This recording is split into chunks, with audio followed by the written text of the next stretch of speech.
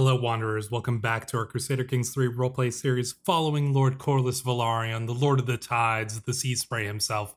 And as you can see, chaos has erupted once again in the Seven Kingdoms to nobody's surprise. And that is because Lord Corlys made a foolish mistake. In his stubborn and arbitrary nature, he decided that he was above paying back the Iron Bank of Braavos, the coin that he owed to them and he would, as many kings and lords before him, come to regret that. For he thought he was, you know, uh, unstoppable with having the largest fleet in the world. The, certainly the largest fleet in Westeros, probably the largest fleet in Essos as well.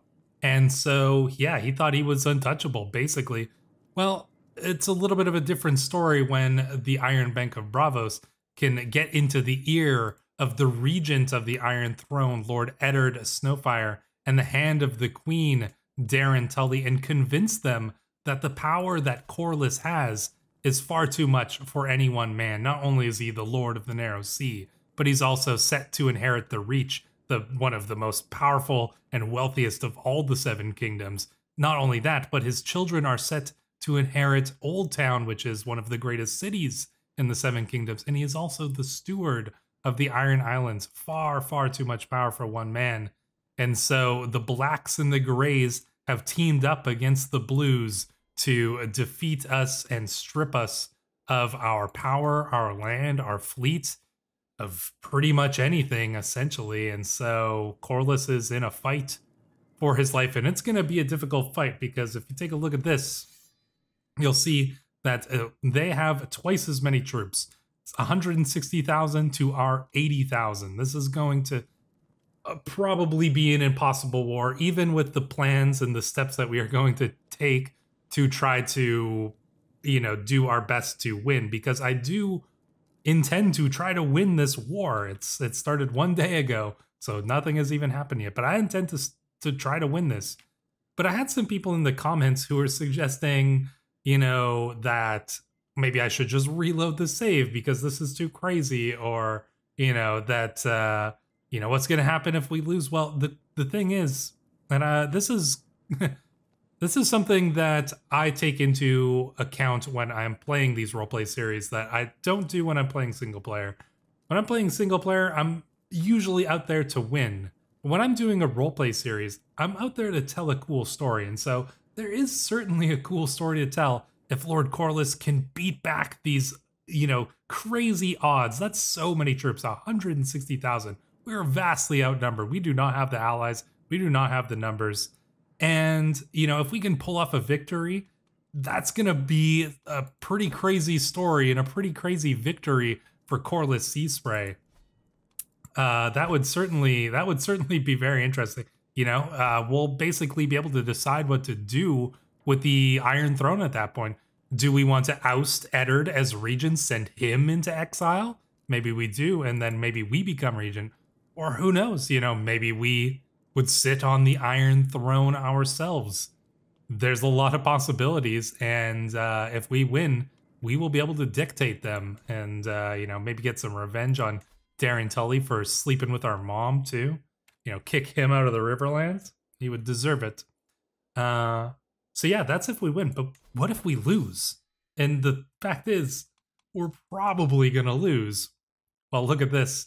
We lose the Lord Paramountcy of the Narrow Sea. We lose Driftmark, High Tide, Silverhorse, Shroud, Blackhull, Braveport, Spicetown, Hull. We lose it all. Those are all of our landed titles, except for one the Lordship of Turtleback, way down here in the Stepstones if we lose this war, we'll, we're stripped of all these lands. Technically, we'll still hold the Iron Islands, but I think they're going to strip that too. If we lose, presumably our mother will be stripped of the Lord Paramountcy, and it's entirely possible that the High Towers would remove Sherris from Old Town as well, just, you know, because she's already spurned her own family by marrying us and having Velaryon set to inherit. So I wouldn't be surprised if our mother loses everything, if our wife loses everything, and if we lose everything when we lose. And that would be pretty crazy. But it's not a game over. We would still hold this tiny little island in the Stepstones. And I ask you, what's going to be the most interesting story? Is it going to be Lord Corlys beating back the crazy odds and defeating the Iron Throne and, you know, becoming regent and dictating, you know, what the, the terms of the peace are? That could be a crazy story. But what about Pyrrhus? what about Corlys the Pirate King? You know, starting back from nothing, you know, exiled with like whatever part of our fleet we can manage to muster together down into the Stepstones. Maybe we conquer Pirate King Rillo and name ourselves Pirate King of the Stepstones. Conquer Tyroshan, Lys, and Myr. Take the three sisters, build a power base, and then come back with an army to get our revenge. That sounds like a pretty cool story, too. So the fact is, I don't really care if we win or lose because both of them are going to be awesome. Uh, the fact is, uh, we just have to see what's going to happen. And like I said, I am going to do my best to win. And in order to do that, we need to do a couple things. So uh, we are going to start playing some game now. Uh, that doesn't mean I'm going to start time. It just means I'm going to start playing the game. And part of that is considering where, if we can get any other allies. Now, some people were suggesting the Vale in the north. I don't think the north wants anything to do with uh, this war, um, just because it, neither does the Vale, frankly. But can we even potentially get alliances with them? Unfortunately, we can't because the Vale only has two sons, and uh, so does the North as well. And I've already checked and looked. Uh, so there's no way we can get a legitimate alliance here unless we break break the betrothal of our daughter to Ellison Tyrell, the grandson of Willas. And we could possibly do that, but in a role play sense, I just don't think we can. I think if we break that betrothal, our mother would lose her very tenuous hold on the reach and we would lose her we would lose our strongest ally, 18,000 troops. If our mother, you know, if we break that betrothal with Willas the Tyrell's grandson, which was to bring peace between the Tyrells to secure the reach, if we break that betrothal, our mother is going to lose everything. You know, the reach lords will revolt all those ones who haven't already. And yeah, so we can't break our daughter's betrothal. Uh, and we can't marry into the Vale or the North with any of our sons. And that kind of makes sense in, for uh, Petyr Baelish. The fact is, you know, he could gain a lot by allying with us. He wants to put his children on the in the Riverlands. His children have claims through their mother, Lysa Tully. So they got claims on the Riverlands, and he wants to put them on there, obviously. He's been, but he's been the regent of the Vale for 20 years since Lord Orwell was five years old. Petyr Baelish has been the region. He's ruled this place, and they haven't gotten into any wars. All of this completely war ravaged. The Vale, it's basically survived untouched this whole time. And so, you know, although Petyr has much to gain from allying with us because we would probably be able to give his children the Riverlands, he has a lot to lose as well. You know, he would look at this, he think he knows we're outnumbered. He knows that if he loses, he's going to lose everything as well. So, you know, what it's going to be he would be hard to convince and mechanically we got to get a, a, marriage there as well. So the thing is, if Petyr Baelish stays neutral and we win, Lord Daeron Tully still loses, which means that Petyr has a chance to, you know, potentially act against the Tullys when Lord Paramount uh, Daeron here loses all his power. So Petyr Baelish doesn't necessarily have a good reason to ally with us and help us in this because he could, you know, if we win, he pulls off his plan, and if we lose, he loses nothing. So it makes sense for him to stay neutral. Maybe we'll be able to win him over. Maybe if our uh, wife has a daughter, we can arrange things with the House Arryn there and whatnot. But um, yeah, that's uh, that's what it is there. Uh, we do have other potential ally options though, and those are across the narrow sea.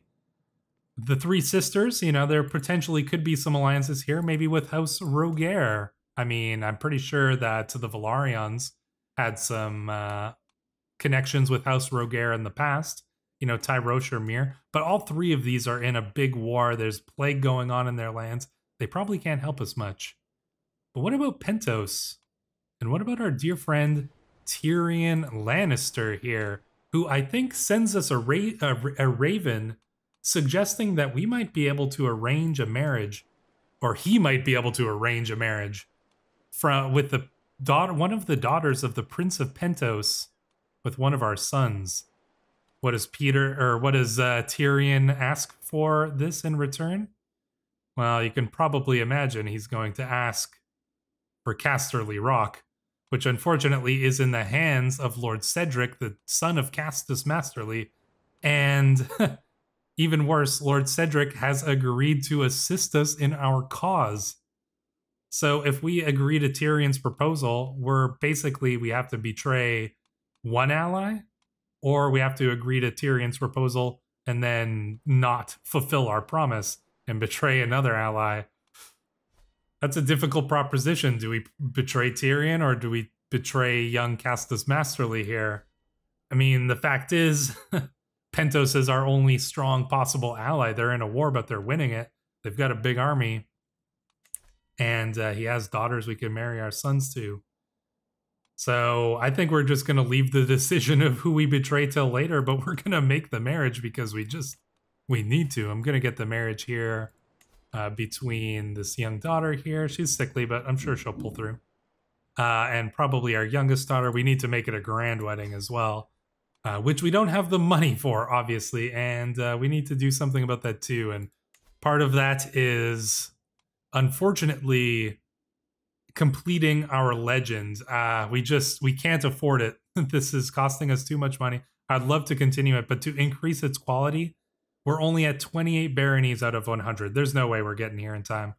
We have to complete it. We need to get the our money back flowing. Otherwise, there's zero chance of us winning this war.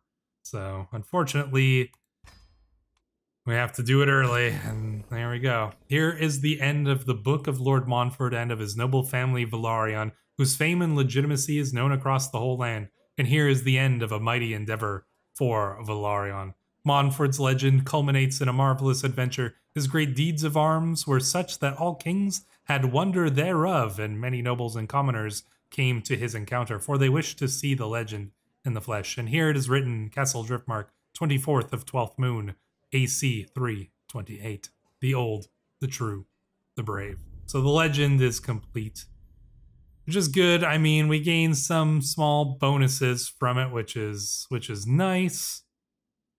Um, we could have got more, but the we just we can't afford it. We're barely we're not even going to be making enough money to support the armies that we're about to raise here. So, uh, yeah, we'll get this alliance with the Prince of Pentos here. Did we arrange it? We did, right? Uh, oh yeah, okay. We're calling in our allies. Did I not, uh, did I not agree? I thought I set this up. Maybe I didn't. Gonna let another moment pass here. There we go. Yeah, I did. Okay. It was just taking a little while. I also look forward to the promised grand wedding. Yeah, yeah, okay, whatever. Help us win this war first. Otherwise, there ain't gonna be no grand wedding. Uh, call our allies to war. Our Prince Agreo the Wicked. Let's call him to war. Also, our wife is pregnant. If she has a daughter, potentially we could get that Arryn alliance, which would be pretty helpful. Oof. All right. Things are going to be difficult. I think we're going to lose some allies right away here because they just got completely caught out in the middle of nowhere there. I think we're going to hold on Driftmark for just a little while. Oh, actually, you know what? Maybe we're going to go and crush this tiny little army while we can. She is a woman now. It has been a good while since I saw my old heartthrob Daenerys. Um, it's hard to believe she's the same girl I fawned over in my youth. Do we confess our love? Set aside these childish thoughts? We are arbitrary, but our wife is our soulmate. I'm just gonna randomly pick here. I got my eyes closed and... Oh, okay. I guess we confess our love to her. That's uh, that's me doing our arbitrary nature. Oh, she whispers around back. Guess we're gonna have some bastard children. Oh well. Uh, what are we gonna go through here? Um, probably we don't even know she's sick. I'm guessing too. Maybe she's gonna get us sick. That will be unfortunate. I think we got to go for golden obligations because I want to get war profiteer and then maybe fearful troops. It seems like the best best options here. So let's see if we can take down. No, okay, they flee. We're gonna have to Let's get back onto Driftmark here. And I guess gather up all of our allies. Let's hope that they all come here onto Driftmark and and we can gather up a big enough force to protect. Oh no, the crap. The Reachman army, of course, is getting caught out there. And they, oh yeah, look at that. Oh boy. All right, goodbye, Reach army. Okay, uh, at least our wife's army's here. All right, we're. I guess we're. I guess our goal is to hold Driftmark, because all of our allies are here. We got to put ourselves in. I guess we put Evitho in charge of the army, or do we lead it? No, we should probably put it in the hands of Evitho here. All right, what are they get? Oh, they're just sieging down over here. I think we I think we wait just a little bit longer. Okay, our son our son's okay, he's recovered. I think we wait a little bit longer. Reach army, get out of there. You're just gonna get crushed again. Stop it. Oh, they're so dumb. Ugh, can we afford this? No, we can't. We can't afford. uh, small disease recovery. You lose 20. Is 21 really going to make a difference? I don't know. Probably not. All right. I guess we'll pay for the recovery. Man, this is not ideal. I'm just so basically my plan here, although we do we are oh god and that yeah, look at that. My plan is that like maybe maybe we could try to take King's Landing. Probably the only shot. The thing is we have the biggest fleet, right? But we do not have the ground forces, and we can't just let like our mother's lands be conquered, our wife's lands be conquered. So my hope is that either they win these couple sieges here and they come siege down Driftmark and we use our fleet and our island to our advantage and defeat them there, or we let them move on a little bit and then we try to siege down King's Landing. Um, there's definite need for a new road to traverse the Lord of High Tide. Uh, the project begins. My steward will handle this. The roads. I'm gonna need to pay money for this, aren't I? Ah, and the Reach Army is just so dumb. All right, I mean, do we go for King's Landing? Let's see, where are they? They're just sieging this down. Maybe we try. I don't know. Maybe we try to go for King's Landing here. Oh, no, they're going on the sea. All right, maybe we go back. Oh, hey, we gain money. Okay, looks like all the armies are are coming back here. They're landing in high tide. Oh man, there's a big force. The Battle of High Tide.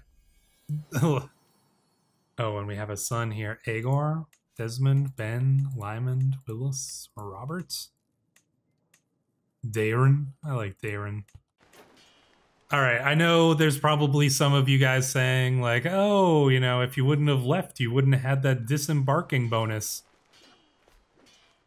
Look at this. A hundred thousand troops versus our not a hundred thousand there there was an 84 knights versus our 31 knights. It doesn't matter if we have the disembarking penalty. There's no way we win this battle. Is is there what? No. I don't know why it showed us as having the potential to win there. There's absolutely no way we're doing that. Post guards along the roads. Um, control's gonna go down in high tide anyways after all this. Yeah, no, there's there's just no way. We didn't have the troops to win this fight. Oh no, they were sick. We just didn't have the troops. The fact is, guys, it was a miracle that we would ever win this war. And sure, we could have tried to race them. Ooh, Lucerys died? Huh. Well, alright, let's take a look at that crazy battle. Captain uh, events. Yeah, that's what we want to see. Oof. Oh man, Samuel the Slay. Samuel the Watchful Shepherd slew a Zeus. Damn, Sam. Kind of a badass. Oh, we lost our cousin, Lord Maelor the Black Seahorse, or Julian Stoneheart, Benjamin Breaknell, uh, Albin Massey, Captain Lucerys, Lord Dukello, Lord Gorman, Adam was slain, Ebert Orland. Oof. Yeah, lots. That was lots slain. The fact is, guys, and I know there's probably lots of people kind of saying, like, you know, surely our fleet could have done, you know, something about that. Like, I don't know, maybe they use Dragonfire or, or not Dragonfire. Yeah, the uh, Wildfire. You know, maybe there was like some sort of plot or trick or something like that. Somehow they broke broke through the fleet. They got their armies landed. You know, they destroyed part of our fleet the fact is there's no naval combat in this game and i'm not gonna you know i'm not just gonna completely game the mechanics just so we can have a victory. The fact is we were never gonna win this war you guys. Or it was highly unlikely at the very least. I mean maybe we can try to go for king's landing now and and hope for the best here but uh i mean i don't know. Who knows? Maybe we maybe we pull it off we're not at 100% war score yet, and uh, you know it's not over till the fat lady sings. So that's what we're gonna try to do. Uh, that's just a marriage from one of our sister to our vassals, long prearranged. All right, come on, allies. Oh no, pirate crew invasion of the Stepstones. Uh, we can't. That's not good, guys because we can't lose the stepstones because that's where we need to flee to if we lose this war. Oh no, we can't. Uh oh.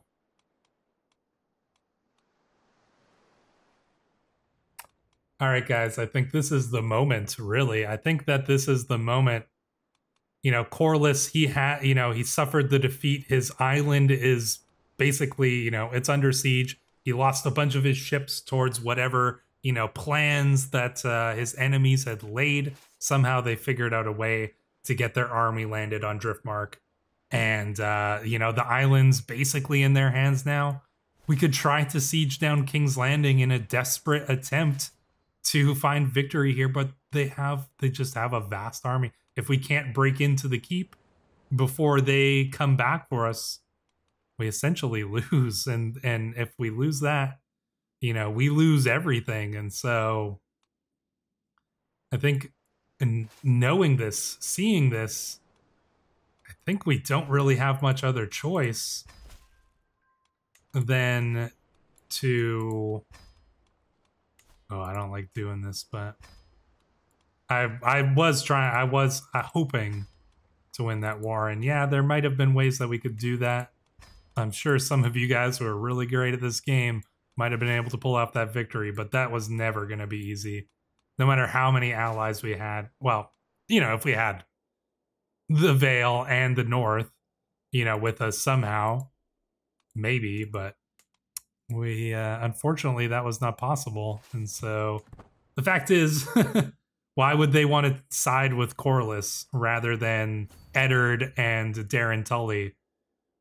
You know, why why go with the the man who broke betrothals and you know he might be a hero but he wasn't in power. So. Uh i think we just need to go and uh i think this is us. We're taking our ships. We're taking what remains of our fleet. And we are going to sail down into the Stepstones. Uh and the you know that's gonna be uh, that is going to be, I suppose, where where we flee to now because we lost our island. Yeah, there's not. I don't think there's all that much we can do here. We still need to defeat these pirates, which is not actually necessarily going to be easy here. I hope some of our allies come and come over here. Just gonna continue through this road thing. All right, yeah, it looks like our allies are dropping in, which is perfect. I'm just gonna let. Oh, okay, you're moving. Let's, uh, you know what? Let's try to catch them here because, uh. Oh, okay. Where are they going? Can we catch them in time? Oh, we're going against some of them anyways. Alright, defeating this small pirate army. Corlys, uh, let's get Corlys over here. So he can he can do some of this fighting. Alright, where are they landing? They gonna land up here, or are they gonna land in Dwarfstone? Oh, landing in Dwarfstone. Let's see if we can hit them. Hit them here. Come on, let's catch them. It's not worth the effort. Unfortunate, but necessary. We can't afford to lose the money. It's not worth the effort. All right, we got to defeat these pirates because, yeah, the this war. This war is a lost cause. I think. I'll, I'll put the save file up if some of you guys can beat this war without cheating or gaming the system or anything like that. Um, I'd be happy to see it honestly, and probably there are ways to do it, but um, you know, I think it would be pretty difficult. Oh man, 160,000 troops against us. That was that was never gonna be easy. At least we can kill these pirates. Corlys can get his get his uh, blood, uh blade wet on the blood of some pirates here. There we go. And so it is done. I mean, we defeated the pirates, but I think the fact is we uh I don't think we can win this war. I don't look at this, you guys. I don't think we can win four, 40,000 versus 150,000. That's too much. I think that we need uh to to unfortunately surrender here. So be it, and we will also uh, enforce our demands upon the pirate crew here. He loses 500. We don't gain any, so uh, because this is bugged out. I'm actually probably going to give us an extra 500 between episodes because this guy has, you know, five 500 coins, 473, and it it implies that he should be paying this money to us, but it doesn't. So enforce our demands. At least we found victory.